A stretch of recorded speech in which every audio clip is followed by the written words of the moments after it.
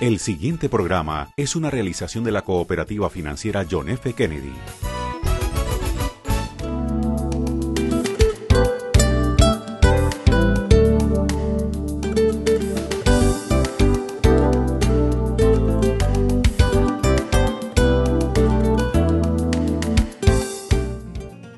¿Qué tal? Un gusto saludarlos en esta noche y hoy Vida Cooperativa los invita a practicar los valores de la tolerancia y la reconciliación, fundamentales para esa paz tan anhelada en nuestro país.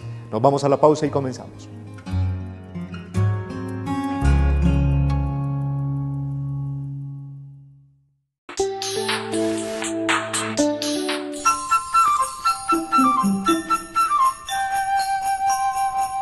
Tolerar no es aguantar, ni soportar y mucho menos ser indiferente ante las situaciones que se presentan en la vida.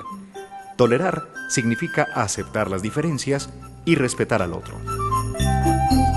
Eh, la tolerancia nace eh, en el siglo XVIII de las guerras eh, religiosas, porque lo más intolerante son los fanáticos el fanático en política, el fanático en fútbol o el fanático en religión son personas peligrosas para la convivencia.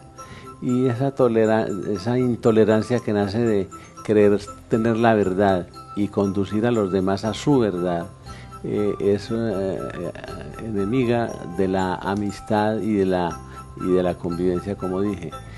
Lo que no se puede tolerar es el delito eh, tolerar el delito es, ser cómplice del delito, pero lo demás, eh, de las demás actividades de la, de la, humanas, eh, son necesario, es necesario tener la tolerancia, o sea, el respeto por sus decisiones. Dividir la, la humanidad es una forma de intolerancia cuando se dicen los buenos y los malos, los ricos y los pobres, los proletarios, los capitalistas, los blancos y los negros.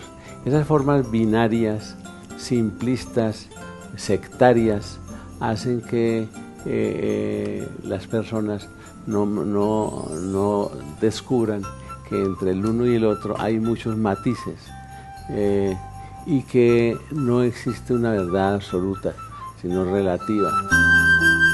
Y en el proceso de superación de conflictos internos, nuestro país necesita con mayor urgencia entender, asimilar y aplicar el significado de la reconciliación. La reconciliación es entre la víctima y el victimario. Los demás colombianos que no son víctimas debemos acompañar esa reconciliación. La reconciliación y el perdón son dos cosas que van de la mano. Eh, además, para que haya reconciliación, tiene que haber justicia.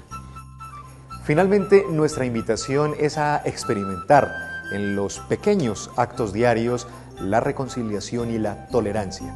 Con su práctica podemos evitar conflictos y además lograr paz interior. Gracias por acompañarnos. Feliz noche, feliz fin de semana. Nos vemos el lunes.